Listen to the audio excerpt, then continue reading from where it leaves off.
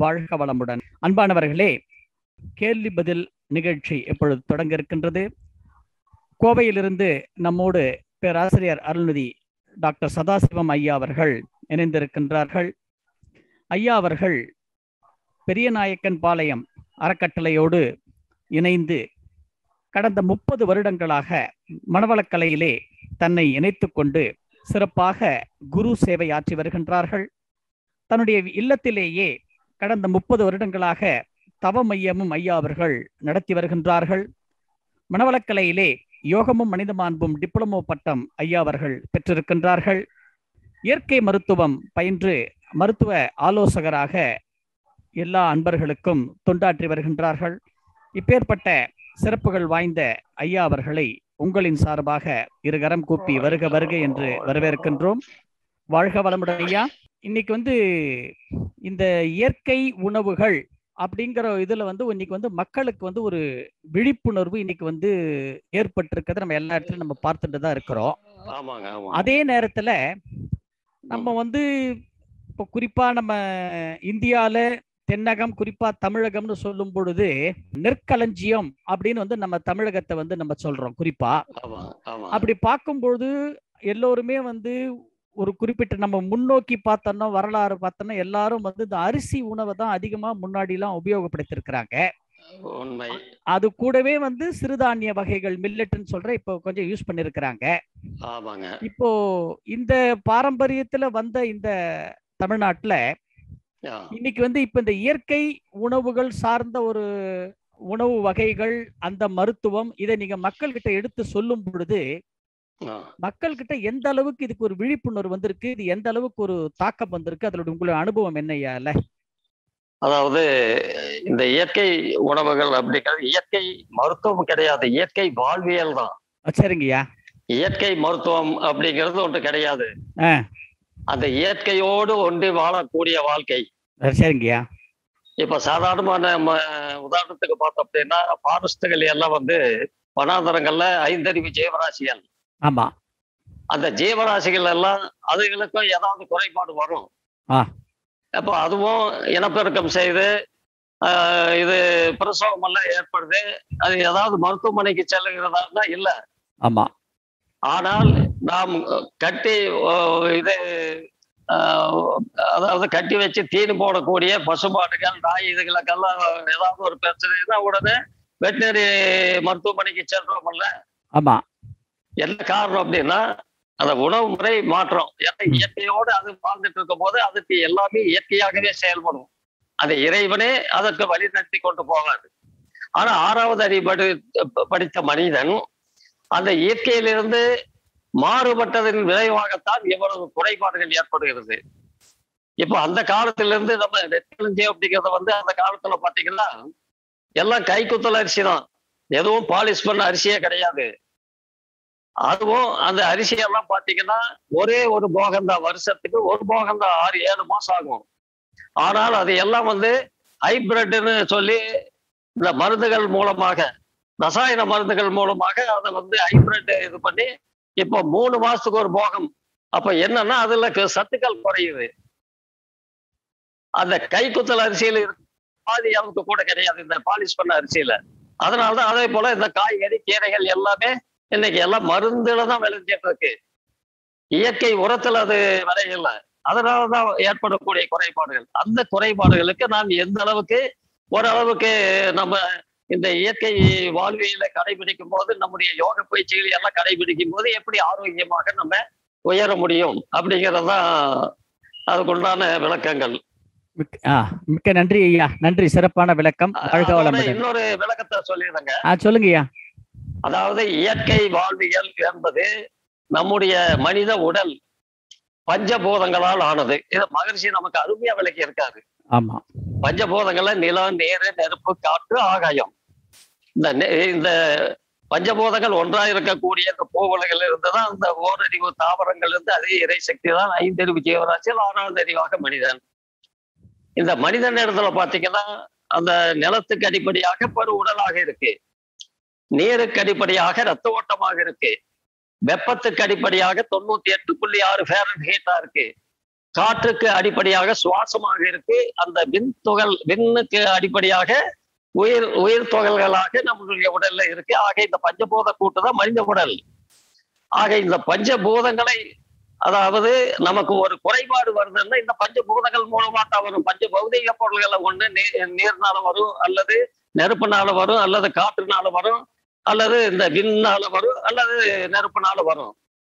ஆக இதுல வரக்கூடிய ஒரு குறைபாட்டுக்கு இந்த பஞ்சபூதங்களை வைத்துத்தான் நாம் சரி செய்து கொள்ள கொள்ள வேண்டுமே தவிர அது அப்படி சரி செய்து கொள்வதைத்தான் இறை இயற்கை வாழ்வியல் இலை இயற்கை மருத்துவம் என்று கூறப்படுகிறது புரிஞ்சுங்களா ஆ, அப்போ மிக்க நன்றி ஐயா. அப்போ நன்றிங்க ஐயா. அப்ப இதுல இருந்து என்ன தெரியுதுன்னு கேட்டீங்கன்னா அந்த காலத்துல வந்து மக்கள் வந்து இயற்கையோடு ஒத்து இருந்தாங்க. அதுக்கேத்த இயற்கை நல்ல உழைப்பு. ஆமா. உழைப்பு நல்லா பாடுபட்டாங்க நல்லா ஆரோக்கியமா இருந்தாங்க. இன்னைக்கு கூட நூத்தி ஐந்து வயசு உள்ளவங்க இருக்காங்க. நன்றி நன்றி ஐயா. மிக்க நன்றி. ஐயா. மிக்க நன்றி. நன்றி வாழ்க வளமுடன் ஐயா. சிறப்பான விளக்கம். வாழ்க வளம் அடுத்ததாக இப்ப அன்பர்களுக்கு கேள்வி பதிலுக்கு உள்ளே போகலாம் ஐயா. முதலாவதாக. சென்னை அண்ணா நகர் மன்றத்திலிருந்து டாக்டர் ஜெகநாதன் ஐயா அவர்கள். ஐயா அவர் ஐயா கேள்வி கேட்கலாம். ஐயா கிட்ட வாழ்க வளமுடன் ஐயா. வாழ்க வளமுடன். சென்னை அண்ணா நகர் டாக்டர் ஜெகநாதன். ஆ ஜெகநாத ஐயா. அழகா அழகான தம் அழகா ரொம்ப அழகா சிறப்பா இந்த இயற்கை மருத்துவம் என்னன்னுங்கிற ரொம்ப அருமையா சொன்னீங்க. அந்த காலத்துல எல்லாம் இயற்கையோடு ஒன்றி கலந்து உயிர்கலப்பு பெற்றவங்க இந்த காலத்துல அத உதாசீனம் பண்றதுனால எல்லாமே ஏற்படுதுன்னு. உண்மை. ஒரு முக்கியமான கேள்வி. நம்ம உடற்பு மக நம்ம கலியுக கடவுள் குரு உடற்பயிற்சி காயகல்ப பயிற்சி தவ. பயிற்சி மௌன ஆஹ், அகத்தாய்வு பயிற்சிகளோடு இந்த இயற்கை தங்களின் அறிவுரை சரியாக வருமா என்பதற்கு மு- ஆஹ், முக்கியமாக ரொம்ப எமர்ஜென்சி அப்படின்னு சொன்னாக்கா அலோபதி தான் நான் ஆயா. அந்த ஒரு விளக்கம் தேவை ஐயா. ஐயா இந்த பயிற்சிகளோட மகரிஷியனுடைய ஒரு உணவு திட்டம் இருக்கு.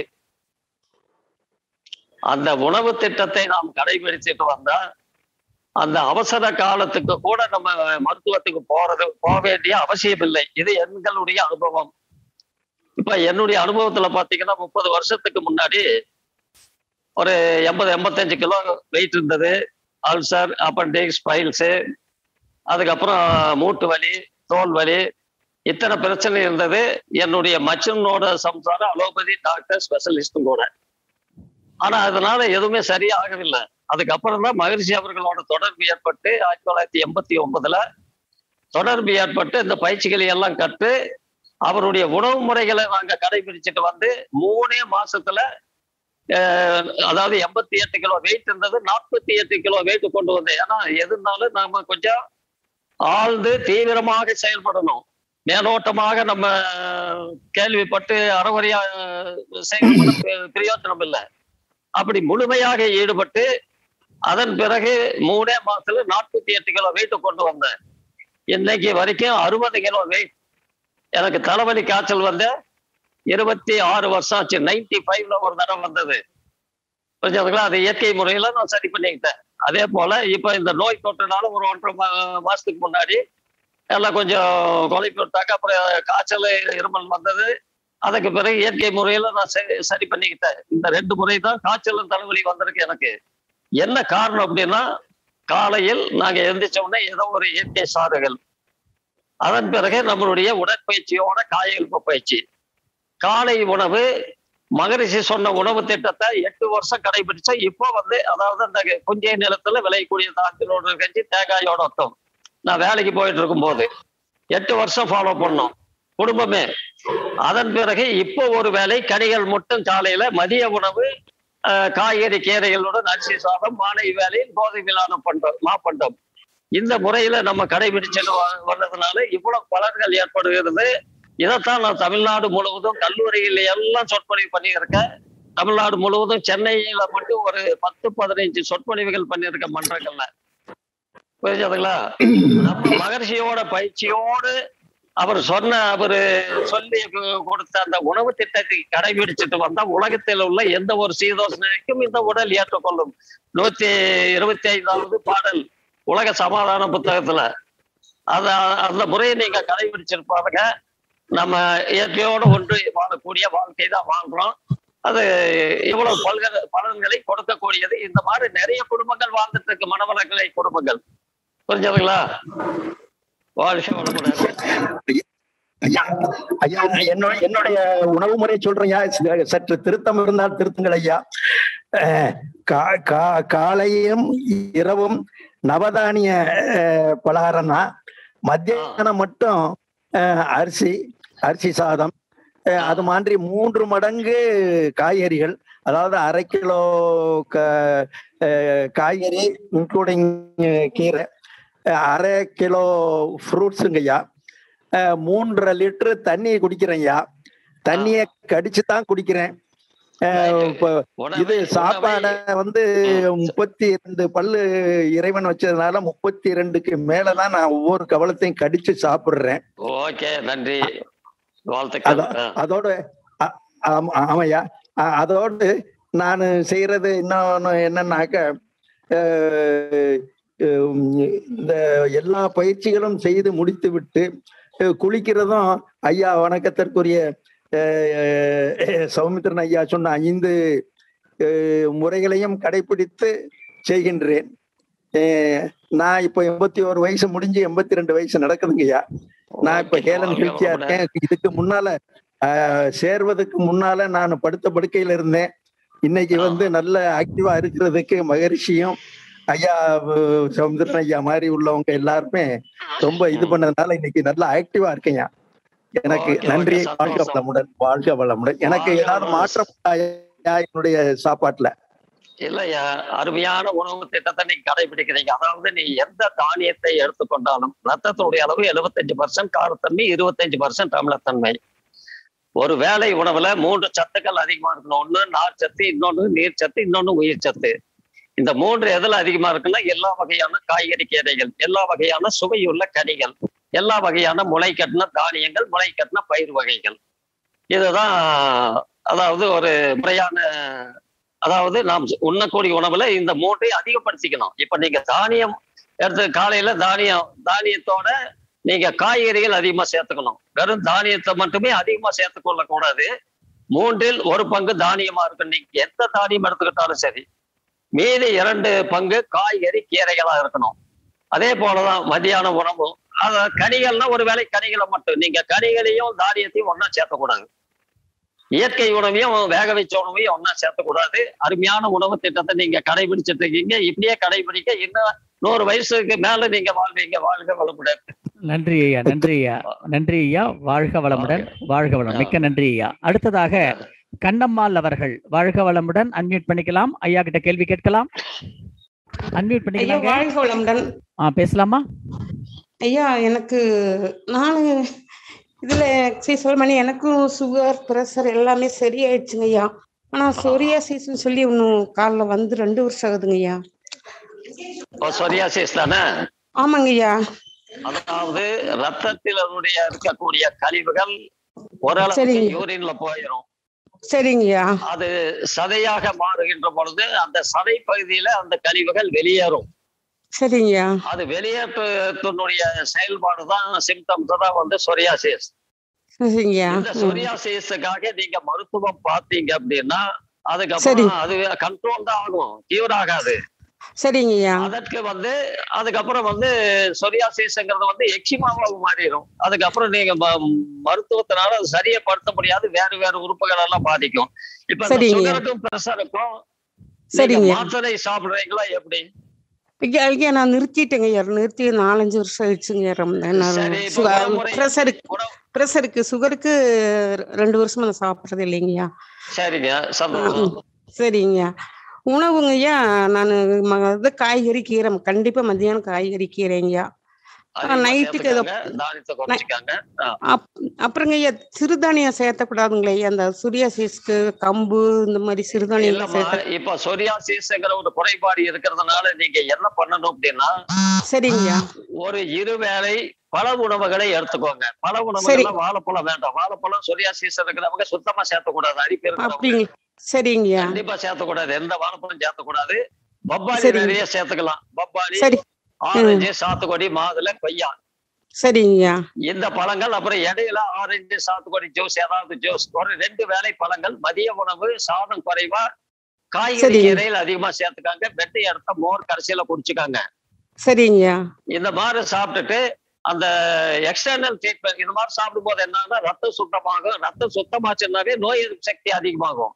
சரிங்கய்யா. அப்ப என்ன ஆகுன்னா இன்னும் அந்த லேசான பகுதியில எல்லாம் அந்த சொரியாசிஸ் வெளியில வரும்.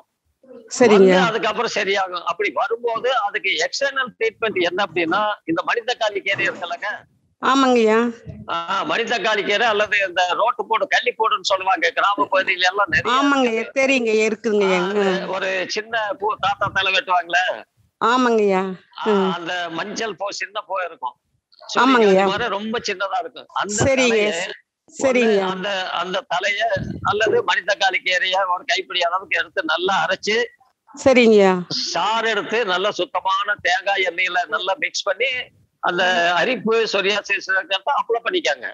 சரிங்கய்யா சரிங்கய்யா அப்ளை பண்ணிட்டு நல்லா ஒரு பத்தரை மணி வெயில் ஒரு அரை மணி நேரம் வெயில் காய்ச்சிட்டு அதுக்கப்புறம் குளிச்சுக்காங்க பாருங்க. இந்த மாதிரி டயட் ஃபாலோ பண்ணும்போது சொரியாசிஸ் சுத்தமா சரியாயிடும் சரிங்கய்யா அதாங்கய்யா இப்போ எது நான் ட்ரீட்மெண்ட் எல்லாம் போகலைங்கய்யா அந்த இதுன்னு வெப்பாலை தைலம்னு சொல்லி ஒன்று போட்டிருக்குறேங்கய்யா அம்மா இப்ப நீங்க கேட்டதுக்கு வந்து நானு முறையா இயற்கை முறையில எப்படி சரி பண்றதுன்னு சொல்றேன்.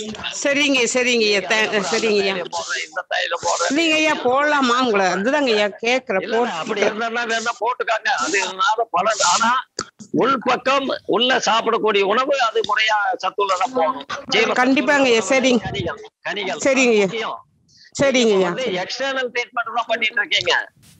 சரிங்க ஐயா அதாவது வெளி பூச்சி தான் பூச்சிட்டு இருக்கீங்க உள்ள இருந்துதானே அது வெளியே வருது. இப்ப ஆமாங்க ஐயா ஆமாங்க ஐயா வந்து நீங்க வெயில் காலத்துல பாருங்க குளிர் காலம் மழை காலத்துல எல்லாம் எந்த பிரச்சனையும் இருக்காது. சரிங்க அந்த பருவநிலைகள் மாறும் போது வெயில் காலம் மே மாசம். சரிங்க ஏப்ரல் மே இந்த மாசங்கள்ல வெயில் கடுமையா இருக்கும். சரிங்க ஐயா அப்ப என்னன்னா அந்த தோல் பகுதியில பட்டு அந்த தோல் பகுதியில் இருக்கக்கூடிய கழிவுகள் வெளியேறதுதான் சொரியாசிஸ்ல வர்றது அதாவது. வேர்க்குரு வரும் தெரியுங்களா வெயில் காலத்துல ஆமாங்க ஐயா ஆமாங்க ஐயா அந்த. வேர்க்குரு அந்த வெயில் காலத்துல நமக்கு எந்தெந்த உணவுகள் உற்பத்தி ஆகுது இளநீர் அதிகமா உற்பத்தி ஆகுது நுங்கு அதிகமா உற்பத்தி ஆகுது. வந்து அதுக்கு உணவு சரிங்க ஐயா இதெல்லாம் இயற்கையே நமக்கு கொடுக்கக்கூடிய உணவு முறைகள் அது. இளநீரும் அந்த. இது நுங்கு சரிங்க. நம்ம சாப்பிட்டுட்டு வரும்போது. உடம்புல இருக்கிறதால சரியாயிரும். வைட்டமின் சி உள்ள உணவுகள் ஆரஞ்சு. சாத்துக்குடி மாதுளை கொய்யா இதெல்லாம் வந்து அதை சீக்கிரமா வெளியேற்றி அதாவது. உடல்ல உடல்ல இம்யூனிட்டி பவர் அதிகப்படுத்தும் ரத்தத்தை உற்பத்தி பண்ணும். சரிங்க சரியாயிரும். இந்த மாதிரி. அந்த எக்ஸ்டர்னல் ட்ரீட்மெண்ட் சொல்லு இது பண்ணுங்க. ஃபாலோ பண்ணுங்க. சரிங்க. சரிங்க அதாவது எக்ஸிமாவா மாறினாலும் கூட அதுக்கும் மருத்துவம் இருக்கு. அது சில இந்த மனிதக்காளி கீரை அதுக்கப்புறம். இந்த ரோட்டு போடு ரோட்டு போடு, ஈரத்தண்ணி, சரிங்க. வேப்பந்தழை இதையெல்லாம் அரைச்சு சாறு எடுத்து சரிங்க.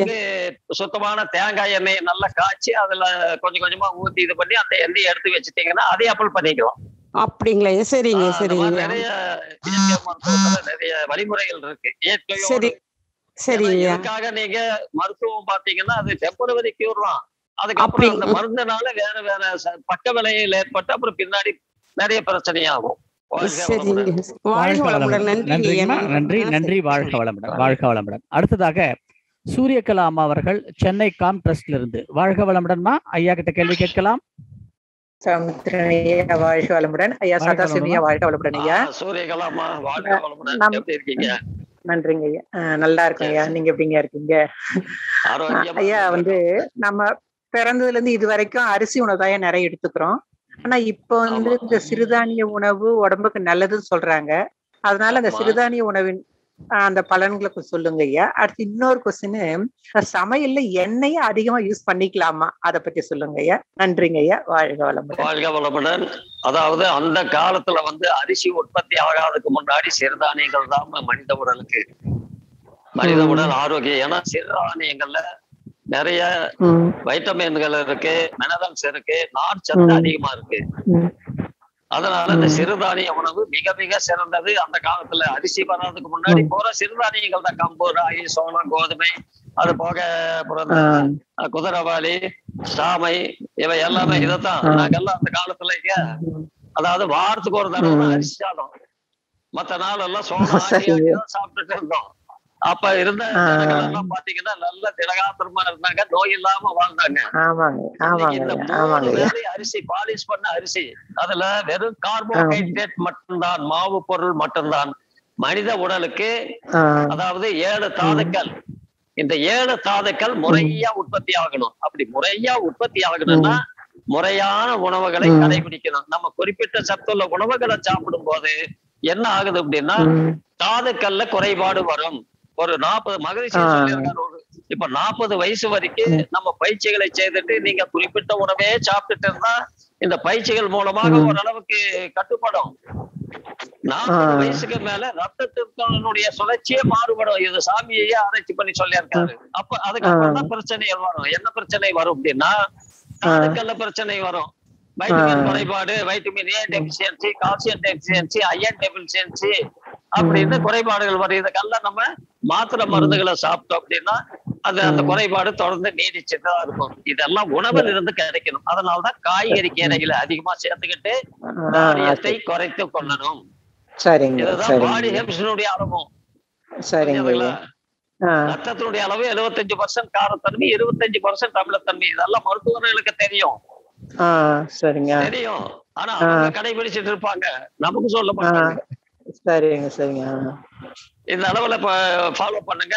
ஆரோக்கியம். உயர்ந்துட்டே இருக்கு நம்ம பயிற்சியின் மூலமாக. அடுத்து எண்ணெய் பத்தி எண்ணெய் பத்தி கேட்டீங்க எண்ணெய் வந்து நீங்க சுத்தமான எண்ணெய் இன்னைக்கு பூரா கலப்படம்.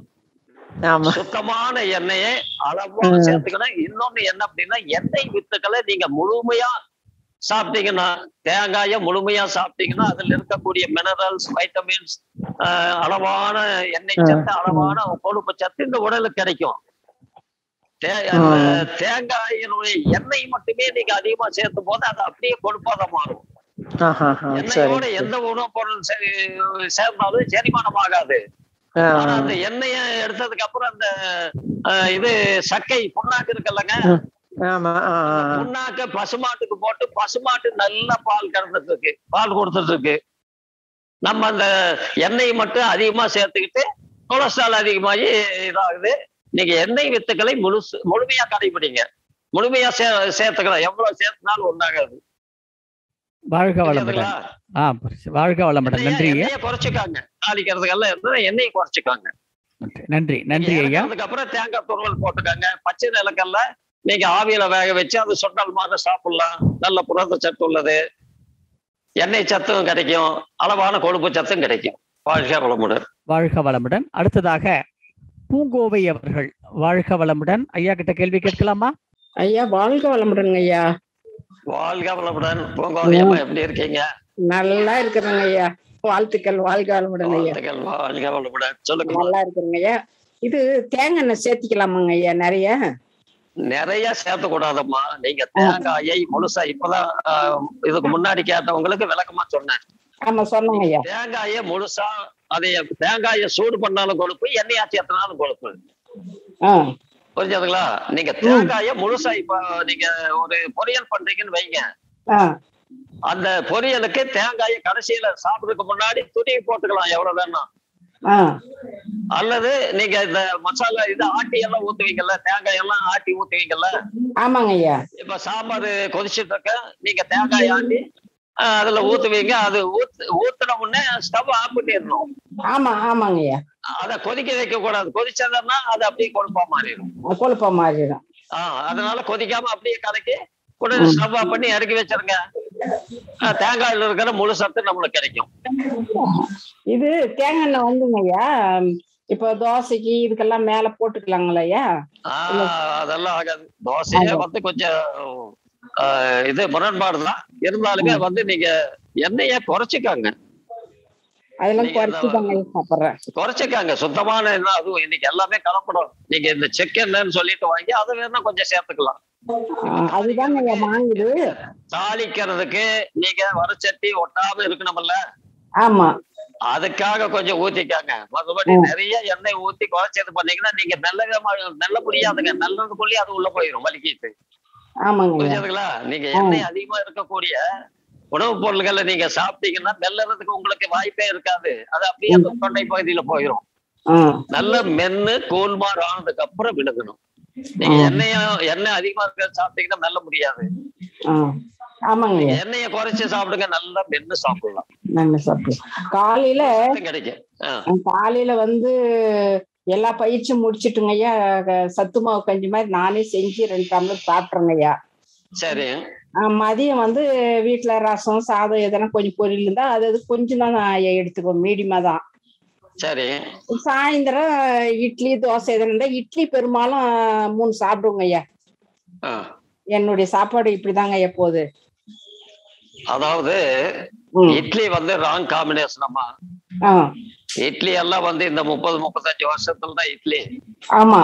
அந்த காலத்துல தீபாவளிக்கு தீபாவளிக்கு தான் இட்லி. இன்னைக்கு எங்க வீட்டுல தீபாவளிக்கு தான் இட்லி. இல்லைன்னா அதாவது குழந்தைகளோட இங்க வந்தாங்கன்னா அன்னைக்கு இட்லி இருக்கும். வாழ்க ஐயா. அது வந்து ராங் காம்பினேஷன் அரிசி வந்து வாயில தான் ஜீரணமாகும்.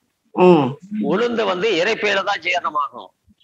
சரிங்க. இது வந்து புரோட்டீன் அரிசி வந்து கார்போஹைட்ரேட் ரெண்டும் ஒண்ணா சேர்ந்து அப்புறம் குளிக்க வச்சு நீங்க இந்த ஃப்ரிட்ஜில் வச்சு ஏழு நாளைக்கு எட்டு நாளைக்கு வச்சு சாப்பிட்டு அதை விட மோசமான ஒரு உணவு எதுவும் கிடையாது. இருங்க இருங்க. அப்படி என்னைக்காவது ஒரு நாளைக்கு இட்லி சாப்பிடுறோம்னா நாலு இட்லி சாப்பிடுறத ரெண்டை குறைச்சிட்டு ஈக்குவலா வெஜிடபிள் சேர்த்துக்காங்க.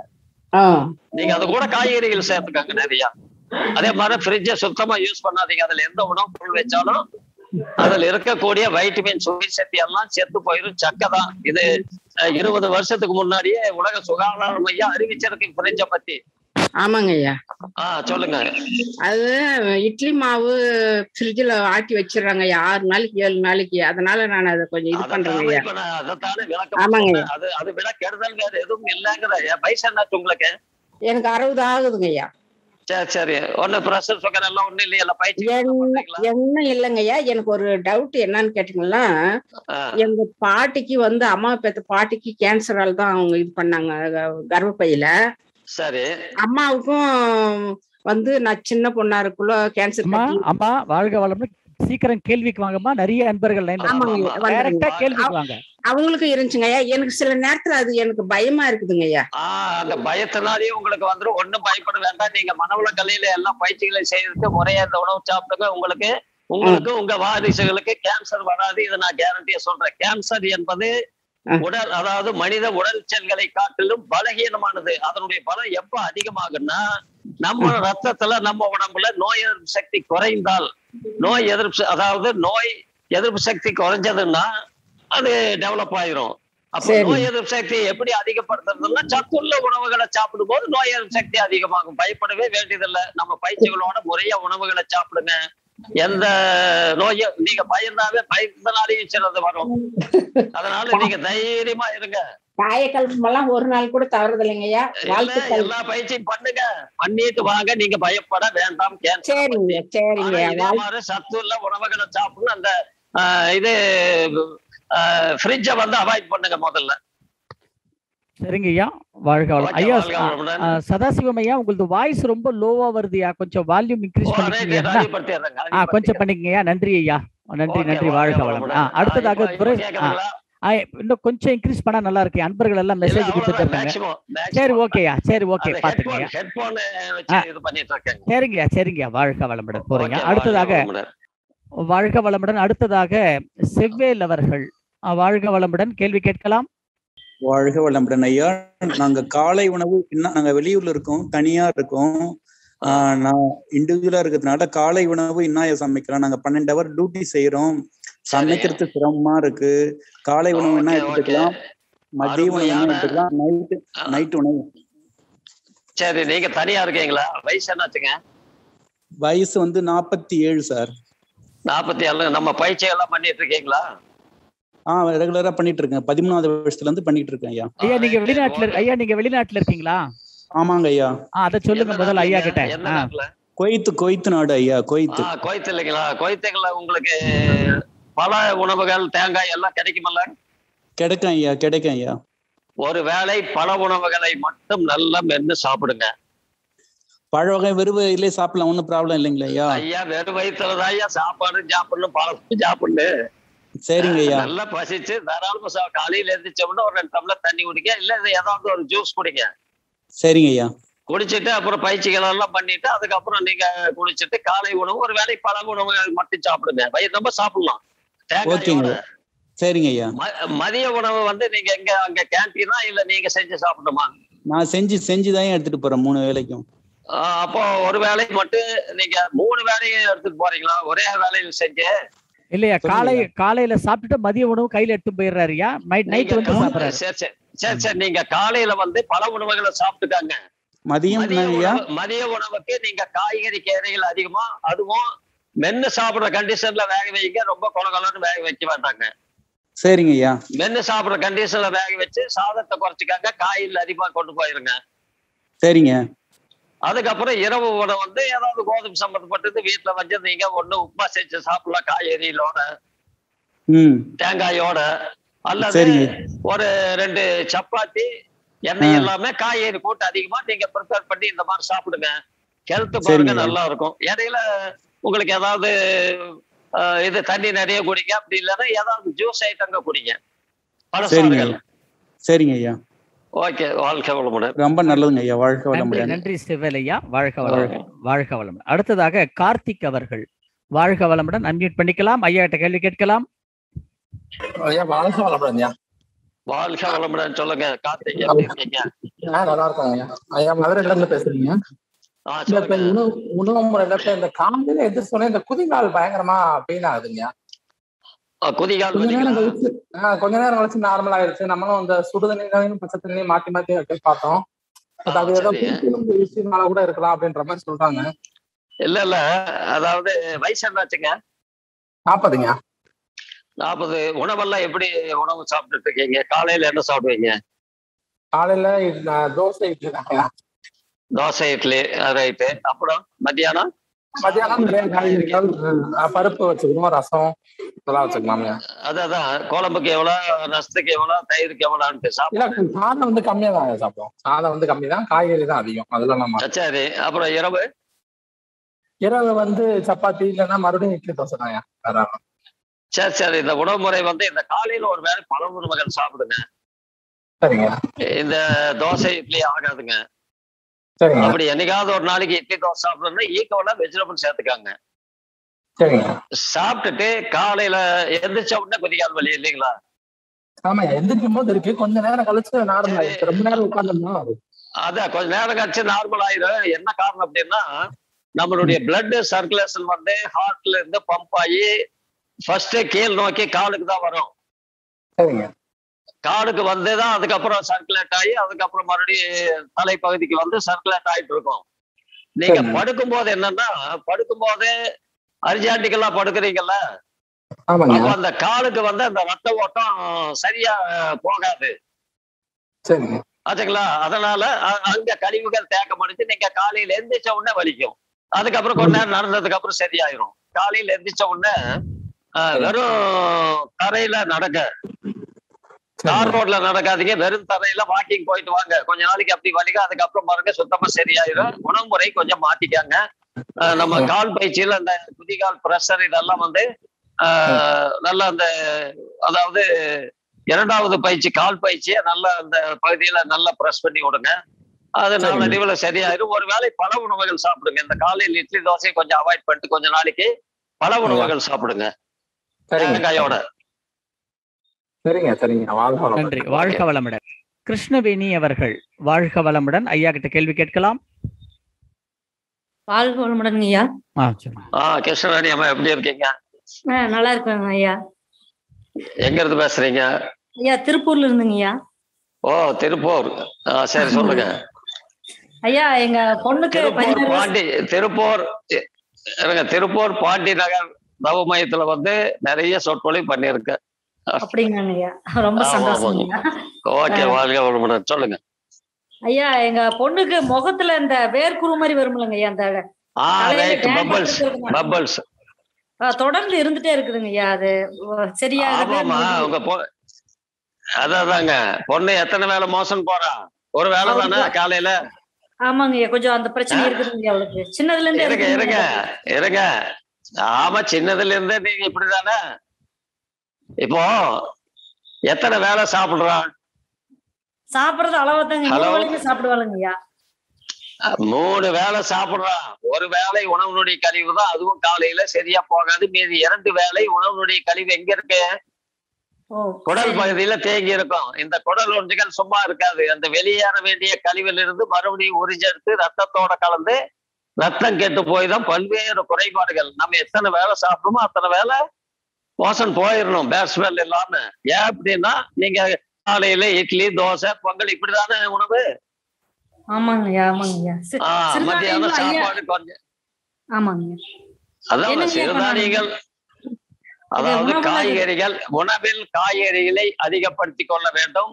தானியத்தை குறைச்சிக்கணும். ஒரு ரெண்டு வேளை பல உணவுகள் பப்பாளி பழம் நிறைய சேர்த்துக்க சொல்லுங்க. பெண்கள் பப்பாளி பழம் நிறைய சேர்த்துக்கணும்.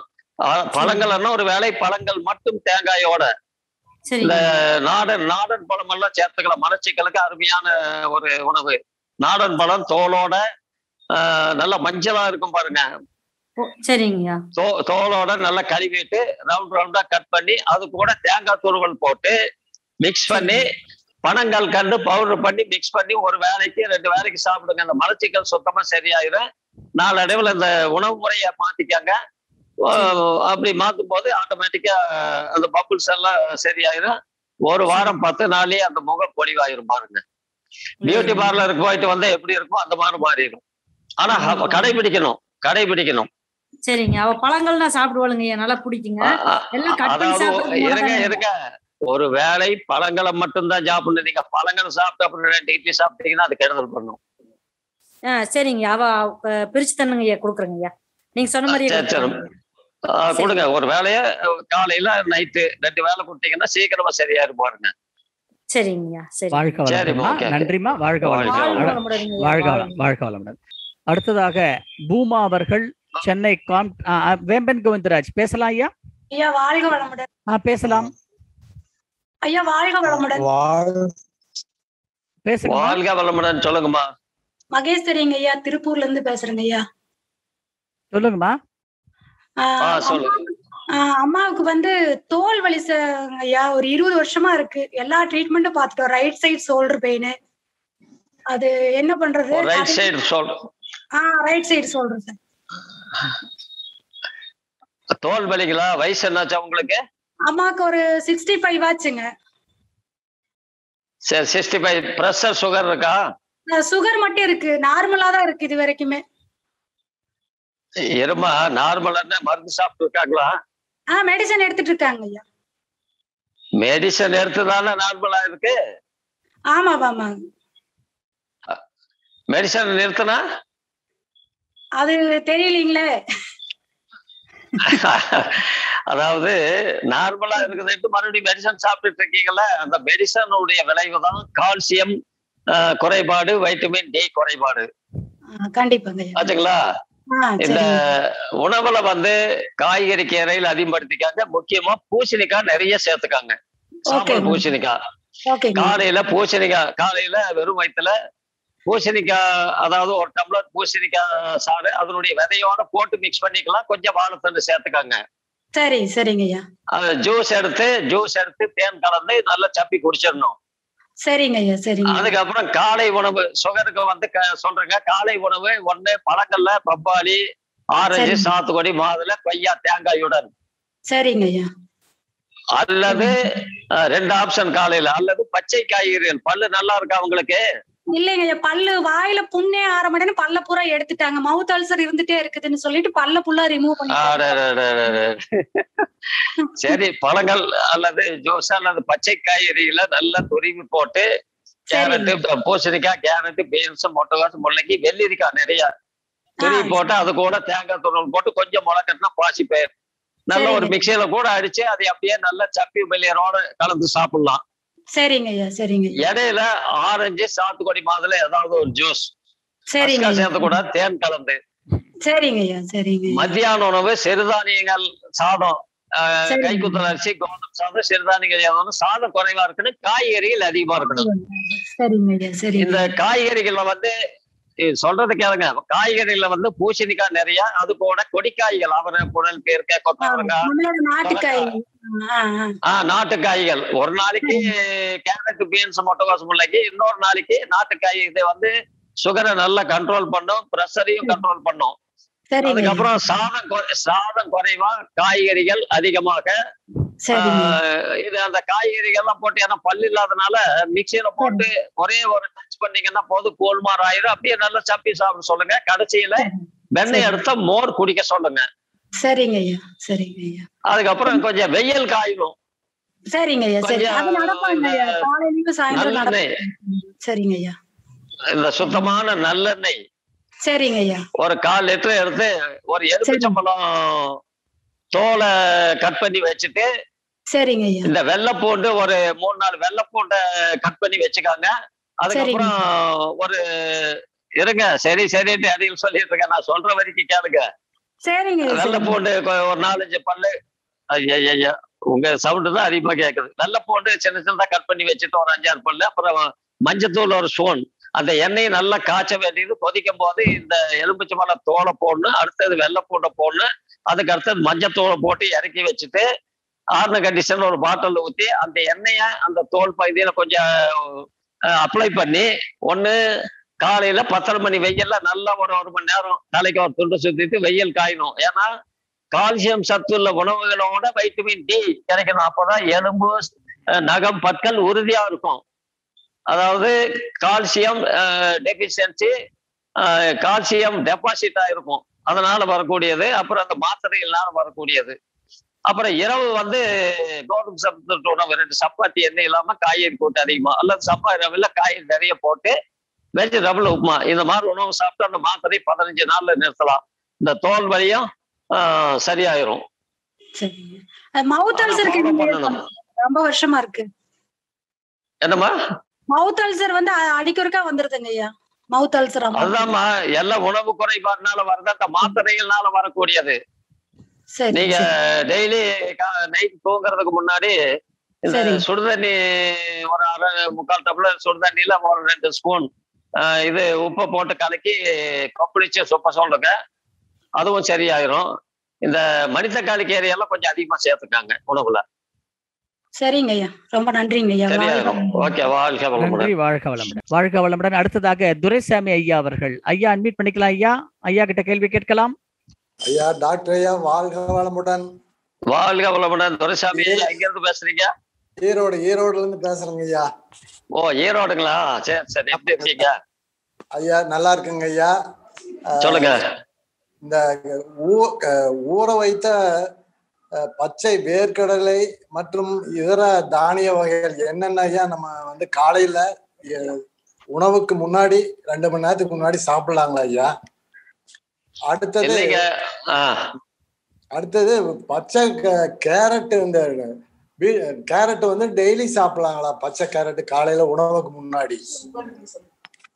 ஐயா உணவுன்னா ஒரு வேலை உணவை மட்டும்தான் சேர்த்துக்கணும். அதுக்கு முன்னாடி எது சாப்பிட்டீங்கன்னா இது ஜீரணமாகிறதுக்குள்ள மறுபடியும் அடுத்தது அடுத்த உணவுக்கு போனீங்கன்னா அப்புறம் அஜீரணமாகி நிறைய பிரச்சனைகள் ஏற்படும். நீங்க பச்சை அதாவது கேரட் வந்து நிறைய சேர்த்துக்கலாம் வைட்டமின் ஏ சத்து ரொம்ப அதிகமா இருக்கு. குழந்தைகளுக்கு நிறைய கொடுக்கலாம். இந்த கண்ணுக்கு ரொம்ப முக்கியமானது வைட்டமின் ஏ சத்து. நீங்க காலை உணவு வந்து அப்படி தானியங்கள் சேர்த்தது மாதிரி இருந்தா இப்ப பச்சை நிறக்கரையில எல்லாம் வந்து ஆவியில வேக வச்சோ அல்லது அஹ், பாசிப்பயிர் முளைக்கட்டின பாசிப்பயிரை கூட ஆவியில வேக வச்சு அல்லது கொண்டக்கல்ல கூட ஆவியில வேக வச்சு அது கூட காய்கறிகள்லாம் துருவி போட்டு தேங்காய் துருவல் போட்டு நீங்க சாப்பிட்டீங்கன்னா அது ஒரு வேலை சூப்பர் உணவு அது. நல்ல சத்துள்ளது நீங்க பச்சைக்காய் இது தானியங்களை சாப்பிட்டு அதுக்கப்புறம் உணவு சாப்பிட்டீங்கன்னா அது கெடுதல் தான் பண்ணும். அதே மாதிரிதான் மத்தியான உணவு. காய்கறிகள்னா காய்கறிகளை மட்டும் ஒரு வேலை சேர்த்துக்கலாம். உணவோட சேர்த்துக்கலாம். இந்த. மாதிரி சாப்பிட்டு கொஞ்சம் பழகிக்காங்க. இல்லைன்னா நிறைய டைஜஷன் ப்ராப்ளம் வரும். சரிங்க நன்றி. அதே மாதிரி தானியங்கள் தானி தானியங்கள் அதிகமா சேர்த்துக்க வேண்டாங்க. தானியத்தை குறைச்சிக்காங்க காய்கறிகளை அதிகம் பண்ணிக்காங்க. காய்கறி கீரைகளை அதிகம் பண்ணிக்காங்க. வாழ்க வளமுடன் வாழ்க வளமுடன். நன்றி ஐயா. அடுத்ததாக ராஜலட்சுமி அவர்கள் வாழ்க வளமுடன். அன்மீட் பண்ணிக்கலாமா? எனக்கு இந்த இடது கையில இந்த கட்டவரல் பக்கத்துல கொஞ்சம் பெயினா இருக்கு. அது வந்து காலையில எழுந்திருச்ச உடனே அந்த மூணு விரல வச்சு கொஞ்சம் பிரஸ் பண்ணும்போது கொஞ்சம் அந்த வலி சரியாகிறது. எந்த ஐயா. இடத்துலங்க கேக்குதா சொல்லுங்க. எந்த இடத்துல? அது முதல்ல சொல்றது சரியா கேட்கல இடது கை கட்ட விரல் ஐயா நெட்டு ஓ இடது கை கட்ட சைடுல. ஆ சரி சரி. சைடுல வலி இருக்கு இல்லைங்களா? அது சைடுல. சைடு ஆ. போர்ஷன். ஓ சரிங்க. அது பெயின் பெயின் இருக்கு. அது விரல வச்சு பிரஸ் பண்ணும்போது கொஞ்சம் ஏப்பமா வருது. அப்புறம் கொஞ்சம் சரி. சரியாகுது. எக்ஸசைஸ் பண்ணினட்டு கொஞ்சம் சரியாகுது. சரியாகுது. சரி சரி. அதாவது உடம்புல இந்த கேஸ் தன்மை அதிகமாச்சுன்னா அமிலத்தன்மை அதிகம். உணவுல சாப்பிடக்கூடிய உணவு பெரும்பாலும் அமிலத்தன்மை உள்ளது. ரத்தத்துல அமிலத்தன்மை அதிகமாச்சு அப்படின்னா அந்த அமிலத்தன்மை எங்க போய் தேக்கம் அடையுதோ அந்த இடத்துல வலி ஏற்படும். புரிஞ்சதுங்களா? அந்த மாதிரிதான் உங்களுக்கு அந்த அஹ், கட்டை விரல் பகுதியில தேங்கி இருக்கு. அப்படி தேக்கம் வரும்போது தான் வலி வரும். அதை பிரஸ் பண்ணும்போது ஏப்பம் வருதுல்ல? அதான் காரணம். அதான் காரணம். கொஞ்சம் உணவு முறை கொஞ்சம் உணவு முறைகளை மாத்திட்டு அந்த கொஞ்ச நாளைக்கு வேணா இந்த தண்ணி சூடு பண்ணிமா இந்த ரெண்டு கைகள் உள்ளங்கையில மூணு அளவுக்கு ரெண்டு கைகள்ல உள்ள வச்சுக்காங்க. அல்லது உப்பு கொஞ்சம் போட்டு தண்ணிய சூடு பண்ணி சூடு தாங்குற அளவு ஒரு பத்து நிமிஷம் கை உள்ள வச்சுக்காங்க. அந்த பிரச்சனை சரியாயிரும். கொஞ்சம் உணவு முறையை மாத்திக்காங்க.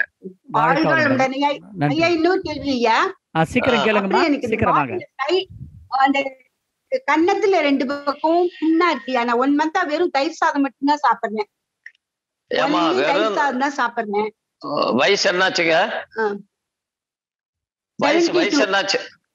செவன்டி டூ வெறும் தயிர் சாதம் ஆகுது. அதாங்க எழுபத்தி ரெண்டு வயசுல வெறும் தயிர் சாதமே சாப்பிட்டீங்கன்னா நிறைய பிரச்சனைகள் உருவாகும். நீங்க காய்கறிகள் அதிகமா சேர்த்துக்காங்க. ஆமாமா அதுக்குதான் சொல்றது. தயிர் சாதம் தயிர் வந்து புளிப்பு. அந்த புளிப்பு தன்மை மறுபடியும் உடம்புக்குள்ள வயிற்றுக்குள்ள போச்சுன்னா இன்னும் புளிப்பு அதிகமாகி அமிலம் அதிகமாகும். அமிலம் அதிகமாகும் போது அந்த வாய்ப்பு தொடர்ந்து இருந்துகிட்டே தான் இருக்கு. சரியாகாது. நீங்க காலையில வந்து மணித்தக்காளி கீரை சாறு எடுத்து எண்ணெயும் கலந்து கொஞ்சம் கொஞ்சமா சப்பி குடிங்க. காலையில ஒரு வேளை கறிகள் பழங்கள் இல்ல, வாழைப்பழம் சேர்த்தாதீங்க பழங்கள் சேர்த்துக்காங்க. எல்லா பழங்களும் தேங்காயோட சாப்பிடுங்க. மதிய. உணவு கீரை மணித்தக்காளி கீரை கீரை கூட்டோட காய்கறிகள் எல்லாம் சேர்த்துட்டு சாதத்தை குறைச்சிக்காங்க. வெண்ணெய் எடுத்த வெண்ணெய் எடுத்த மோர் குடிங்க. பாலும் தயிரும் ஆகாது. இரவு முடிஞ்ச ஒரு வேளை பழங்கள் சாப்பிடுங்க. உங்க பிரச்சனை ஒரு வாரம் பத்து நாள்ல சரியாயிரும். வாழ்க வளமுடன் ஐயா. வாழ்க வாழ்க வாழ்க வளமுடன் வாழ்க ஐயா. நன்றி நன்றி. அடுத்ததாக அடுத்ததாக சித்ரா அவர்கள். வாழ்க வளமுடன். ஐயா கிட்ட கேள்வி கேட்கலாம்?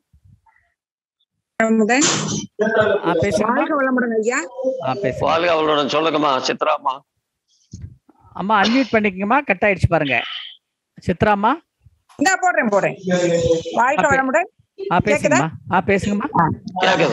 ஐயா பொண்ணுக்கு வந்து கல்யாணம் பத்து வருஷம் ஆகுது. குழந்தை இன்னும் உண்டாகல. டாக்டர்கிட்ட நாங்க காமிச்சோம். இங்கிலீஷ் அலோபதி பார்த்தோம். அவங்க வந்து என்ன சொல்றாங்கன்னா அந்த கரு ஒற்ற உள்ள வந்து கருச்சவர் வந்து விரிவில்லாம இருக்கு அப்படின்னு சொல்றாங்க. அது? கரு ஒற்ற இடம் கருப்ப பைக்குல கரு ஒற்ற இடம். சுவர் வந்து விரிவில்லாம இருக்குது. விரிவு இல்லாம இருக்கு. சரி. அது வந்து எட்டு ஆஹ் விரிவு இல்லாம இருக்கு அப்படின்னு சொல்றாங்க. சரி. அது உணவு பழக்க வழக்கத்துக்கு சரிம்மா. கொண்டு வரலாமா? உணவு என்ன உணவு சாப்பிட்டா கண்டிப்பா. அதாவது. குழந்தை குழந்தை எட்டு வருஷம் ஆகி குழந்தை ஆகல இல்லைங்களா? ஆமாங்க ஆமா. ஆமா ஆமா ஆமா ஜாதகத்தில் குழந்தை இருக்கா? அது கொஞ்ச நாள் அஞ்சு வருஷம் சொன்னாங்க. அஞ்சு வருஷத்துக்கு மேற்கொண்டே ஆயிருச்சு. தள்ளும் அஞ்சு வருஷம். அதாவது ஜாதகத்துல இப்ப லேட் ஆகுங்கிற மாதிரி இருந்தா லேட்டா தான் ஆகும். அது வரைக்கும் பொறுமையா இருக்கணும். அது வரைக்கும் பொறுமையா இருக்கணும். உடல் ரீதியா ரத்த சம்பந்தமா குறைபாடு இருந்தாலும் இயற்கை முறையில சரி பண்ணிட்டீங்க அப்படின்னா கண்டிப்பா ஆரோக்கியமான குழந்தைய உருவாக்கலாம். பெற்றுக்கொள்ளலாம். அந்த மாதிரி நூத்துக்கணக்கான குழந்தைகள் நம்ம மன்றத்தினுடைய அன்பர்களே ரெண்டு வருஷம் மூணு வருஷம் அஞ்சு வருஷம் பத்து வருஷம் குழந்தை இல்லாதவங்க எல்லாம் இயற்கை அதாவது நம்ம மனவளக்கலை மன்றத்துக்கு சாம்செட்டி மாலை மன்றத்துக்கு வந்து ஆலோசனை பெற்று இன்னைக்கு எல்லாம் ஞான குழந்தைகளாக பெற்றிருக்காங்க. நீங்க மருத்துவத்துக்குன்னு போனீங்கன்னா தொட்டதுக்கெல்லாம் மருந்து மாத்திரைகளை கொடுத்து கடைசியில எடுத்து விட்டுருவாங்க குழந்தை ஆகாத அளவுக்கு. நீங்க என்னுடைய நம்பரை கேட்டு அவங்க ரெண்டு பேர் கணவன் மனைவி ரெண்டு பேர்த்தையும் கால் பண்ண சொல்லுங்க. அதுக்கு உண்டான விவரம் எல்லாம் நான் சொல்லிடுறேன். ஏன்னா இப்போ அது. ரொம்ப பெரிய சப்ஜெக்ட் அது. உணவு ஆமா முறை ஆமா. எல்லாம் சொல்லி அதுக்கப்புறம் எப்படி உடலுறவு கொள்ளணும் எந்த நேரத்துல உடலுறவு கொள்ளணுங்கிற வழிமுறை எல்லாம் இருக்கு புரிஞ்சுதுங்களா? சொல்லணும்னா ஒரு ஒரு மணி நேரம் ஆகும். என்னுடைய நம்பரை ஐயா கிட்ட வாங்கிக்கோங்க. அவங்க ரெண்டு பேர்த்த கால் பண்ண சொல்லுங்க. கணவன் மனைவி ரெண்டு பேர்த்தையும். நான் விவரமா சொல்லிடுறேன். இரவு ஒரு ஏழு எட்டு மணிக்கு மேல. கீழே சேட் பாக்ஸ்ல பாருங்கம்மா. ரெண்டு முறை பதிவிட்டிருக்கேன் பாருங்க. ஐயா நம்பரை சேட் பாக்ஸ்ல பாத்துருங்கம்மா. போட்டிருக்கேன் பாருங்க.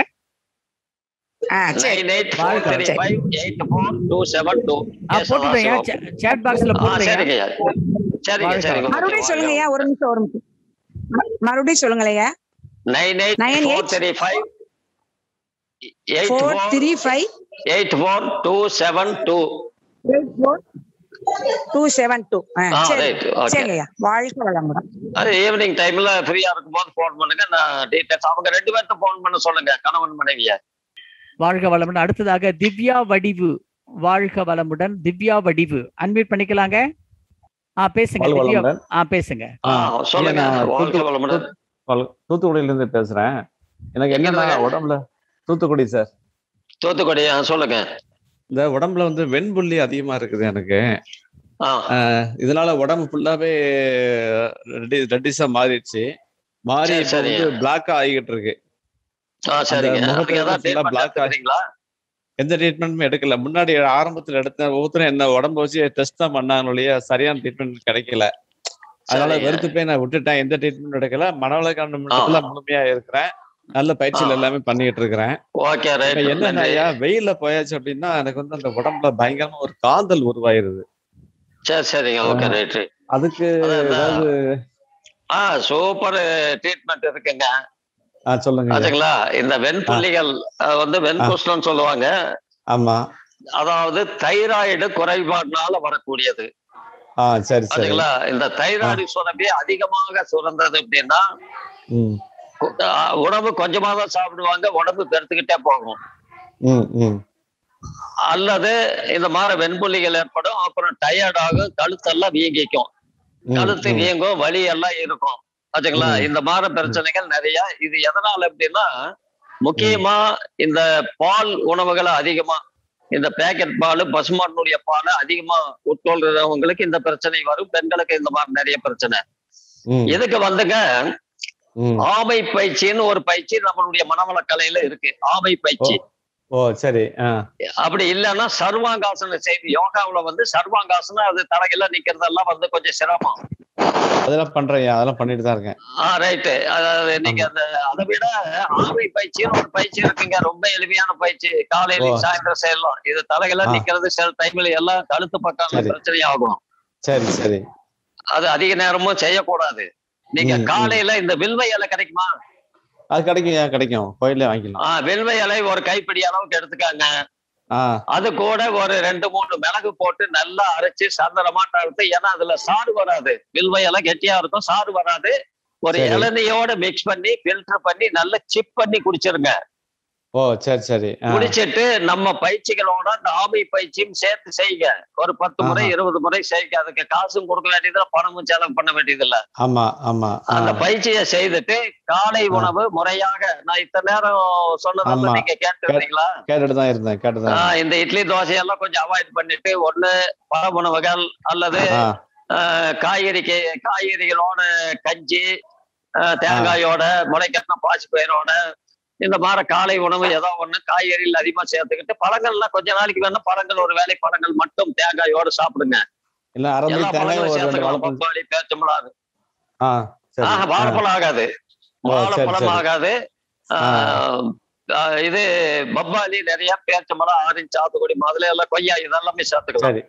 சரி சரி அல்லது காய்கறிகளோட கஞ்சி குடிக்கலாம். காய் சொன்ன உணவு காய்கறிகள் நிறைய போட்டு ராய் கஞ்சி சிறுதானிய கஞ்சி சேர்த்து இறக்குறதுக்கு அப்புறம் தேங்காய் துருவல் கொஞ்சம் முளைக்கட்டினா பாசி பயிர் காலை உணவு மதிய உணவு கண்டிப்பா ஒரு கீரை போட்டு கொஞ்சம் வாழைத்தண்டு பொரியல் வாழைத்தண்டு வாரத்தில் ஒரு நாலஞ்சு நாளைக்கு சேர்த்துக்காங்க. பூசணிக்காய் அதிகமா சேர்த்துக்காங்க. காய்கறிகள் அதிகமா சாதம் குறைவா வெண்ணெய் அர்த்தம் மோர் கடைசியில குடிச்சுக்காங்க. அளவா சாப்பிடுங்க மென்னு அதே போல இரவு கோதுமை சம்பந்த உணவு நம்ம மகிழ்ச்சி உணவு திட்டம் தான் ரெண்டு சப்பாத்தி எண்ணெய் இல்லாம காய்கறி போட்டு அதிகமா இல்ல சம்பா ரவையில காய்கறி நிறைய போட்டு உப்புமா இறக்குனதுக்கு அப்புறம் தேங்காய் துருவல். இது மாதிரி சாப்பிட்டுட்டு காலை மாலை அந்த ரெண்டு வேலையும் அந்த ஆமை பயிற்சியை தொடர்ந்து செய்துட்டு வாங்க. உங்களுக்கு ஒரு மாசத்துல ரிசல்ட் தெரியும். இப்ப அந்த வெண்புள்ளிகள் வந்து கொஞ்ச நாள் ஆகும். அதுக்கப்புறம் மறுபடியும் உற்பத்தி ஆகாது. அந்த வெண்புள்ளிகள் மறுபடியும் அந்த ஸ்கின் கலருக்கு வந்துடும் ஆனா கடைபிடிக்கணும். இதுக்கு வந்து சூப்பர் மெடிசன் வெல்வ இலை வெல்வ இந்த ஜூஸ். வாழ்க வளமுடன் Hello. ஐயா. ஆ, ஐயா லைன் கட் ஆயிடுச்சு அவருக்கு. வாழ்க வளமுடன். கேட்டுட்டு இருக்காரு. வாழ்க வளமுடன்? வாழ்க வளம். ஆமா ஐயா. வாழ்க வளம் அடுத்ததாக சாந்தி சுந்தரம் அம்மா அவர்கள். வாழ்க வளமுடன்மா? ஐயா கிட்ட கேள்வி கேட்கலாம். ஐயா வாழ்க வளமுடன் ஐயா. சௌமித்ரன் ஐயா. வாழ்க வளமுடன்மா? வாழ்க வளமுடன். சொல்லுங்கம்மா. தேனி மாவட்டம் பெரியகுளம் சாந்தி சுந்தரம் பேசுறேங்கய்யா இப்ப இந்த ரெண்டு மாசத்துக்கு முன்னாடி. என்னுடைய சன்னு காலமாயிட்டாங்கய்யா. அது வரைக்கும் நல்லா தான் இருந்துச்சுங்க. இப்ப ரொம்ப லோ ப்ரெஷர் ஆயிருச்சுங்கய்யா. ஹண்ட்ரட் அண்ட் சிக்ஸ்டி டூ தான் இருக்குது. டாக்டர் போனாங்க. கீழே ரெண்டு தடவை விழுந்துட்டேங்கய்யா. ஆல்ரெடி லோ பிரஷர் ஆகும் போது லோ பிரஷர் ஆகும் போது மயக்கம் வரும். கெடினஸ் வரும். சரி. சொல்லுங்க. எனக்கு வயசு அறுபத்தி ஒண்ணுங்கய்யா. ஆ. எனக்கு சுகர் எதுவுமே இல்லைங்கய்யா இப்ப இந்த ஒரு ஆறு மாசமா சுகர் லைட்டா இருக்குன்னு சொல்லிட்டு அந்த மெட்ஃபார்மின் ஹைட்ரோகுளோரைடு அந்த மாத்திரை ஒன்னு எம்ஜி குடிச்சிட்டு இருக்காங்கய்யா. சரிம்மா சரி. ஆமா இப்ப தம்பி இறந்த பிறகு நான் போய் பார்த்ததுல அவங்க சொன்னாங்க உங்களுக்கு ஒன் சிக்ஸ்டி ஃபோர் தான் இருக்கு. ஆஃப்டர் பிரேக்ஃபாஸ்ட் சாப்பிட்ட பிறகு ஒன் சிக்ஸ்டி ஃபோர் இருக்கு நார்மலா தான் இருக்கு. இருந்தாலும் நீங்க அந்த மாத்திரை எடுத்துக்கோங்க அப்படின்னு சொல்லியிருக்காங்க சொல்லிட்டாங்க ஒன் சிக்ஸ்டி ஃபோர் இருக்குங்கய்யா சாப்பிட்ட பிறகு. ஃபாஸ்டிங் சுகர் ஆமா. கொஞ்சம் கூட பயப்பட வேண்டியது இல்ல ம- மாத்திரையை எடுத்துக்க வேண்டியது இல்ல முறையான உணவு திட்டத்தை கடைபிடிச்சிட்டு நம்ம பயிற்சிகளை நீங்க செய்துட்டு வாங்க பயப்பட வேண்டியது இல்ல உங்களுக்கு அந்த கவலை வருத்தம் இறந்ததனுடைய கவலை வருத்தம். ஆமாங்கய்யா. இருந்ததுனால உங்களுக்கு வந்து லோ ப்ரெஷர் ஆயிருக்கும். அதாவது லோ ப்ரெஷருக்கு என்ன அடையாளம் அப்படின்னா அதாவது ரத்தத்துல வந்து கெட்ட கொழுப்பு அதிகமா இருந்தது அப்படின்னா ஹை ப்ரெஷர் கெட்ட கொழுப்பு அதிகமா இது ரத்தத்துல ஆஹ், அந்த கொழுப்பினுடைய இந்த அளவு வந்து குறைவா இருக்கும். அந்த குறைவா இருந்தது அப்படின்னா அது லோ ப்ரெஷர் அதாவது ரத்தத்தினுடைய அளவே குறைவா இருக்கும். ஆமாங்க.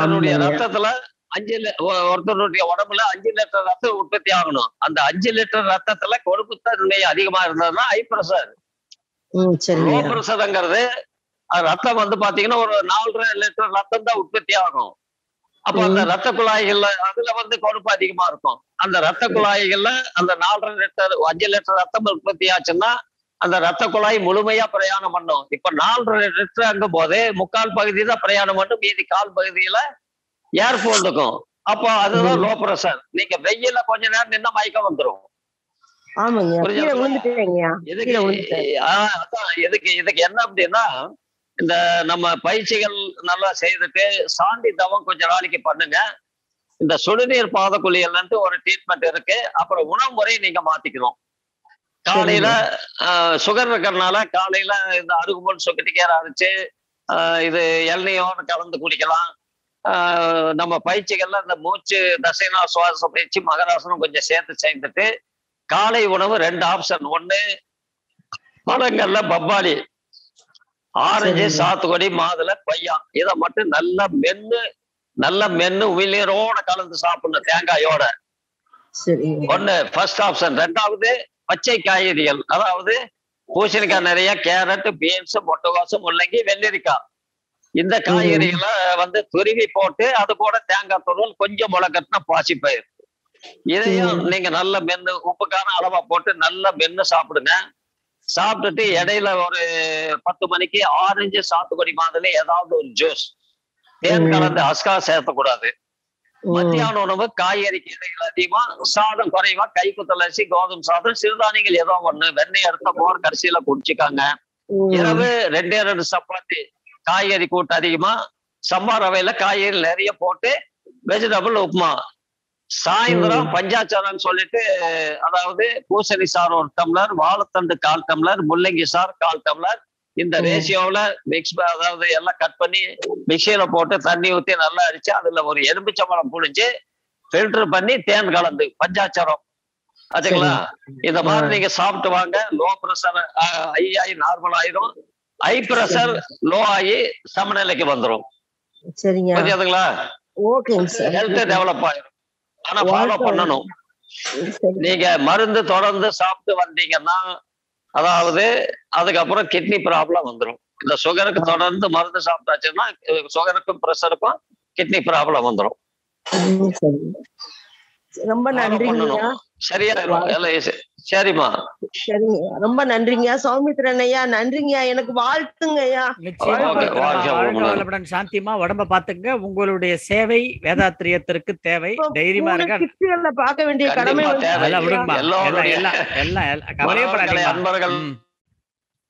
நாங்க பாத்துக்கிறோம்மா கவலையப்படாதீங்க வாழ்க வளமுடன். வாழ்க வளமுடன், நன்றிமா. நன்றிமா நன்றி. வாழ்க வளமுடன். வாழ்க வளமுடன். அடுத்ததாக ராஜலட்சுமி அவர்கள் வாழ்க வளமுடன். அன்மியூட் பண்ணிக்கலாம். ராஜலட்சுமி அன்மியூட் பண்ணிக்கலாமா?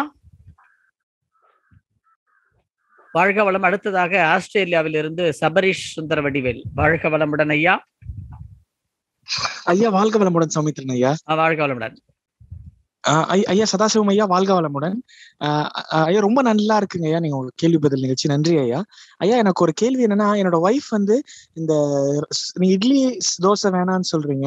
ஆனா அவங்க இந்த ரெட் ரைஸ் அதுக்கப்புறம் திணை அரிசியில வந்து அது பண்றாங்க அது ஹெல்தின்னு சொல்றாங்க ஐயா. அதை பத்தி என்ன ஐயா நினைக்கிறீங்க? ரெட் ரைஸ் ஒரு திணை அரிசியில போட்டு இட்லி இல்ல தோசை பண்றது நல்லதா கெட்டதா கேட்கலாம்னு நினைச்சேன் ஐயா. ஆ ஒரு நிமிஷம் இருங்க. லைன்ல ஐயா லைன் எங்க கட் ஆயிடுச்சு நினைக்கிறேன். சதாசிவம் ஐயா? ஐயா லைன்ல தான் இருக்காரு. ஆ லைன்ல தான் இருக்குங்க. ஐயா சொல்லுங்க ஐயா. ஐயா பேசுனது கேட்டுதா? சொல்லுங்க. அவருக்கு பேசுனது கேட்கல சபரிஷ் சபரிஷ் சொல்லுங்க இன்னொரு தடவை ஐயா கிட்ட. ஐயா சதாசிவம் ஐயா அதாவது என்னோட கேள்வி என்னன்னா ஐயா இப்போ இந்த திணை இருக்குல்லங்க ஐயா திணை ரெட் ரைஸ்ல வந்து இட்லி இட்லி தோசை. சாப்பிடுறது தோசை அவங்க அது பண்றது நான் அது சாப்பிடலாமா ஐயா? அதான் வீக்லி ஓ தாராளமா சேர்த்துக்கலாம். அதுல இந்த உளுந்தெல்லாம் கொஞ்சம் குறைச்சிக்கோங்க. உளுந்து உளுந்து குறைச்சிட்டு பூசணிக்காய் அதுல எல்லாம் மிக்ஸ் பண்ணிக்கலாம். அது கூட கொஞ்சம் ஆஹ், அந்த பச்சரிசி கூட கொஞ்சம் மிக்ஸ் பண்ணிக்கலாம். பச்சரிசி பவுடர் அந்த மாதிரி மிக்ஸ் பண்ணிட்டு நீங்க அப்படி இட்லி தோசை சாப்பிடுறதுன்னா ஆஹ், ஒரு நாலு இட்லி சாப்பிடுறது ரெண்டு குறைச்சிட்டு ஈக்குவலா வெஜிடபிள் சேர்த்துக்காங்க. நல்ல சத்து உள்ளதும் கூட ஒன்றும் பிரச்சனை இல்லை. சரிங்க ஐயா சரிங்க. ரொம்ப நன்றி ஐயா. நன்றி சபரிஷ். நன்றி வாழ்க சபரிஷ். வளமுடன். வாழ்க வளமுடன் வாழ்க வளமுடன். ஆ, ராஜலட்சுமி நீங்க பேசலாமா? ராஜலட்சுமி வாழ்வளமுடன் ஆ சொல்லுங்கம்மா. வாழ்வளமுடன் ராஜலட்சுமி பேசுறேன். சொல்லுங்க பாண்டமங்கலம் ராஜலட்சுமி பேசுறேன். காலு ரொம்ப எரிச்சலா இருக்கு. அப்புறம் உடம்பெல்லாம் ஒரே அரிப்பா இருக்கு. எனக்கு அறுபது வயசு ஆகுது. ஓ சரிம்மா. சுகரு இது டிஎம் கஷாயம் குடிக்கிறேன். டிஎம் கஷாயம் குடிச்சிட்டு வரேன். இந்த சரி. கௌதம் டாக்டர் இது மூலம் யூரின்? இன்ஃபெக்ஷன் கண்டிப்பா வரும். சுகரு சுகருக்கு மாத்திரை அது எத்தனை வருஷமா இருக்குமா சுகர்? டிஎம் கஷாயம் சாப்பிடுறேன். பத்து பத்து வருஷமா இருக்கு. ஆயுர்வேதிக் ஒன்னவே சொல்லிட்டு இருக்கீங்க. டிஎம் கஷாயம் குடிக்கிறேன். ஆயுர்வேதிக். ஆயுர்வேதிக் மருந்து. சரி ஆயுர்வேதிக் மருந்து சாப்பிடுறீங்க. நார்மலா இருக்கு. ஆமாமா மருந்து சாப்பிடுறதுனா ஆமா நார்மலா சுகர் பிரஷர்லாம் நார்மலா இருங்க இருங்க. இந்த மருந்து சாப்பிட்டுட்டு உணவு எப்படி சாப்பிடுறீங்க? சொல்லுங்க. காலையில என்ன சாப்பிடுவீங்க? உணவு சிறுதானியம் சாப்பிடுறேன். காலையில என்ன சாப்பிடுவீங்க? சப்பாத்தி சாப்பிடுறேன். காலை- காலையில் என்ன சாப்பிடுவீங்க? காலையில கஞ்சி குடிப்பேன். வெறும் கஞ்சி பழம் பழம் சாப்பிடுவேன். பழம் நறுக்கி பழம். என்ன பழம். சில டைம் இட்லி தோசை எடுத்துக்குவேன். பழமா? இது பப்பாளி பழம் மாதுளம்பழம் ஆ, இப்படி ஒவ்வொரு நாளும் ஒவ்வொரு பழம் எடுத்துக்குவேன். சரி அப்புறம் மத்தியான உணவு? தூக்கம் சரியா வரதில்ல மத்தியானம் என்ன உணவு சொல்லு? சாப்பிடுறீங்க சொல்லுங்க. சிறுதானியம் சிறுதானிய உணவு காய் காயோட சேர்ந்து. காயோடு சேர்ந்து சிறுதானிய உணவு. அப்புறம் சாயந்தரம்? நைட்டு நைட்டு இரவு?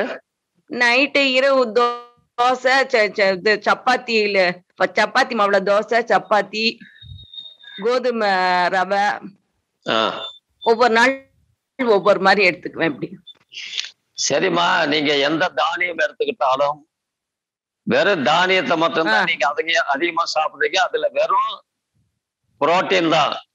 நம்ம உடம்புக்கு வந்து புரோட்டீன் ரொம்ப குறைவா இருக்கணும் வெஜிடபிள்ஸ் காய்கறி கீரைகள் வைட்டமின்ஸ் தான் அதிகமா இருக்கணும்.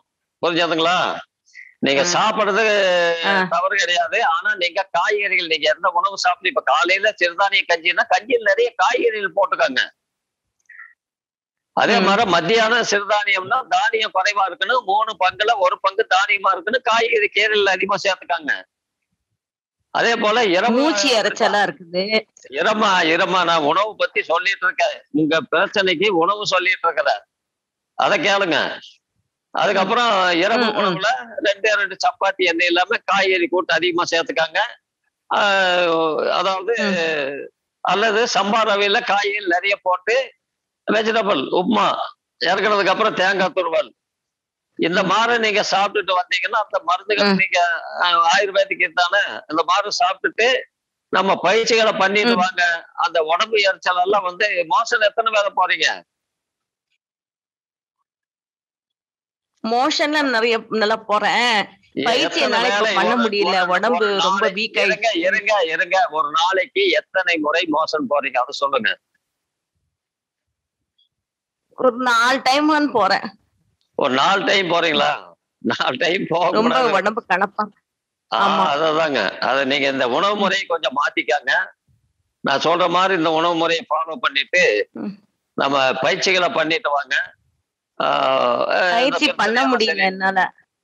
பண்ண முடியல அப்படின்னா இந்த சுடுநீர் தூக்கம் வர மாட்டேங்குது. இருங்க இருங்க இருங்க. சுடுநீர் பாத குளியல்னு ஒரு ட்ரீட்மெண்ட் இருக்கு.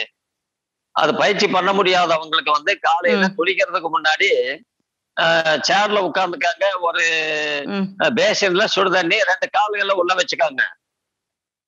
முன்னாடி ஒரு ஸ்டூல் ஒண்ணு போட்டு ஒரு பேசின்ல சுடு தண்ணி ரெண்டு கைகளை உள்ள வச்சுக்காங்க. கணுக்கை மூழ்கிற அளவுக்கு கால் கணுக்கால் மூழ்கிற அளவுக்கு. தலையில வந்து கொழுந்தண்ணி நினைச்ச ஒரு டவலை நல்லா புளிச்சு நல்ல டர்ப நாட்டை உருமான சுத்திக்காங்க. ஒரு அரை மணி நேரம் அந்த சுடு தண்ணி அப்பப்போ ஊத்திக்காங்க. உட்கார்ந்த இடத்துலயே நல்ல வேர்வை வரும்.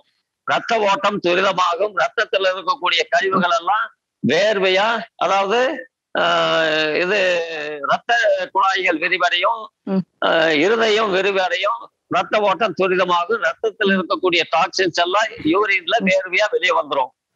அந்த உடம்பு எரிச்சல் இதெல்லாம் நாளடைவில் சரியாது. காலை மாலை இந்த மாதிரி உணவு சாப்பிட்டு காலை மாலை இந்த ட்ரீட்மெண்ட் எடுத்துக்காங்க. பாருங்க ஒரு வாரம் பத்து நாள்ல சரியாயிடும். தூக்கம் ஒரு பத்து நாளைக்கு அப்புறம் நல்ல தூக்கம் வரும்.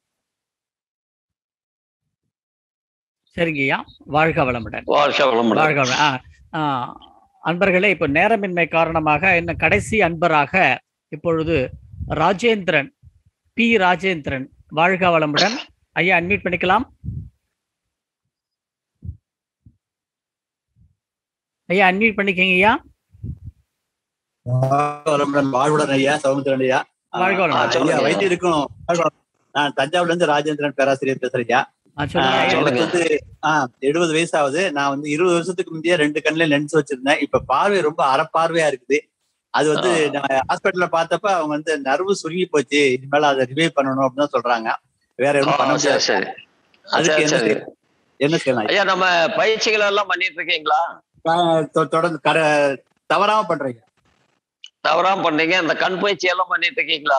ஆஹ் இதெல்லாம் பத்தி தவறாம பண்ணிட்டு இருக்கிறதுனாலதான் இவ்வளவு நாள் தாக்கு பிடிச்சு நான் நினைக்கிறேன். ஆ ரைட் இந்த பயிற்சி பண்ணினதுனால தான் எழுபது வயசுலயே வந்து உங்களுக்கு இந்த குறைபாடுன்னா இது ஒரு பெரிய குறைபாடு கிடையாது எழுபது வயசுல.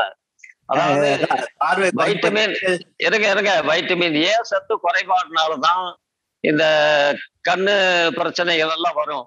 இந்த கண்ணு நரம்புகள் எல்லாம் கொஞ்சம் பலகீனமாகும். ஆச்சுங்களா இதுல வந்து நீங்க காலையில இந்த சூரிய உதயமாகும் போது ஒரு ஏழரை எட்டு மணி அளவுக்கு அந்த சாய்வான கிரகங்கள் வருதல்லங்க. அப்ப வந்து இந்த அதாவது வாழை இலை குருத்தை இலை இருக்குல்ல லேசான குருத்தை இலை. அந்த அந்த குருத்து இலை ஒரு நாலு இன்ச்சு அகலத்துக்கு கட் பண்ணிட்டு அந்த குருத்து இலை மூலமாக கண்ணுக்கு முன்னாடி ரெண்டு கண்ணுக்கு முன்னாடி வச்சுட்டு அந்த இலை மூலமாக சூரியனை ஒரு பத்து நிமிஷம் பாருங்க. வந்து. ஆமா பார்த்துட்டு காலை மாலை ரெண்டு வேளை அதை ஃபாலோ பண்ணணும். நல்ல வைட்டமின் ஏ சத்துள்ள உணவுகள் கீரைகள் காய்கறிகள் கேரட் இதெல்லாம் கொஞ்சம் உணவுல அதிகமா சேர்த்துக்காங்க. அளவா சாப்பிடுங்க. நல்லா மென்னு அளவா சாப்பிடுங்க. ஆஹ் ஏதோ ஒரு வேளை பழங்கள் எடுத்துக்கலாம். பழங்கள்ல வாழைப்பழம் எல்லாம் அதிகமா சேர்க்க வேண்டாங்க. இந்த சளி தொந்தரவு அதிகமா இருக்கிறவங்க இந்த மாதிரி சொரியாசிஸ் இருக்கிறவங்க வாழைப்பழம் சேர்க்கக்கூடாது அத மற்ற பழங்கள் எல்லாம் சாப்பிட்டு வாங்க. ஓரளவுக்கு கண்ட்ரோல் ஆகும். இன்னும் பாதிப்பு அதிகமாகாத அளவுக்கு கண்ட்ரோல் ஆகும். எழுபது வயசு ஆயிடுச்சு. ஆச்சுங்களா? எல்லா ஒரு நீங்க ஏதோ இந்த பயிற்சிகள்லாம் பண்றதுனால அப்படியே ஓடிட்டு இருக்கிறீங்க ஒண்ணும் பிரச்சனை இல்ல. ஆமா. ஃபாலோ பண்ணுங்க ஓகே ரைட் படிக்க முடியல இப்ப எழுத்துக்களே படிக்க முடியலதான் அப்படியே எனக்கு கொஞ்சம் கஷ்டம். ஓ அதுதான் அந்த லென்ஸ் லென்ஸ் வச்சு கூட உங்களுக்கு படிக்க முடியலைங்களா? முடியல முடியல. கண்ணாடி போட்டு மேல லென்ஸ் வச்சுதான் படிக்க ப- கொஞ்சம் கொஞ்சம் பாத்துக்கிட்டு இருந்தேன். இப்ப அதுவும் ரொம்ப மறைக்குது. மறைக்குதுங்களா? கண்ணாடி மாத்திக்கங்க. அதான் அந்த பவர் அதுக்கு மேல இல்லன்ட்டாங்க. அந்த மூணு இது, அதான் தஞ்சாவூர்ல உள்ள மூணு ஹாஸ்பிட்டலுமே இதுக்கு மேல பவர் ரைட் ரைட் ரைட் ரைட்டுங்க அது. நம்ம உடல் ரீதியாக நம்ம இத்தனை காலம் வந்து கொஞ்சம் எல்லாம் முரண்பாடா உணவு முறைகளை கடைபிடிக்கும் போது அந்த கண்ணுக்கு தேவையான சத்துக்கள் வந்து கிடைக்காததுனால வரக்கூடிய பிரச்சனை தான். இதுக்கு அதான் வைட்டமின் ஏ சத்து கொஞ்சம் அதிகமா சேர்த்துக்கணும். இந்த கீரை இந்த கொத்தமல்லி கீரையில எல்லாம் நிறைய இருக்கு. கேரட்ல நிறைய இருக்கு. எல்லா கீரைகள்லயும் இந்த வைட்டமின் ஏ சத்து நிறைய இருக்கு. அதை கொஞ்சம் அதிகமா சேர்த்துக்காங்க. சரியா வாழ்க வளமுடன். அன்பானவர்களே நமக்கெல்லாம் இதுகாரும் இந்த கேள்வி பதில் நிகழ்ச்சியிலே இயற்கை மருத்துவம் இயற்கை வாழ்வியல் உணவுகள் சார்ந்த கேள்விகளுக்கு பேராசிரியர் அருள்நிதி மருத்துவர் சதாசிவம் ஐயா அவர்கள் கோவையிலிருந்து நம்மோடு இணைந்து சிறப்பாக அன்பர்களுடைய கேள்விகளுக்கு ஐயா அவர்கள் பதில் அளித்தார்கள். ஐயா அவர்களுடைய உடல் நலம் வாழ்க வளமுடன். ஐயா அவர்களுடைய அன்பு குடும்பம் வாழ்க வளமுடன். ஐயா அவர்களுடைய ஆன்மீக தொண்டு மேலும் மேலும் சிறக்க வாழ்க வளமுடன். மிக்க நன்றி ஐயா. மிக்க நன்றி ஐயா வாழ்க வளமுடன். வாழ்க வளமுடன். வாழ்க வளமுடன். வாழ்க வளமுடன்.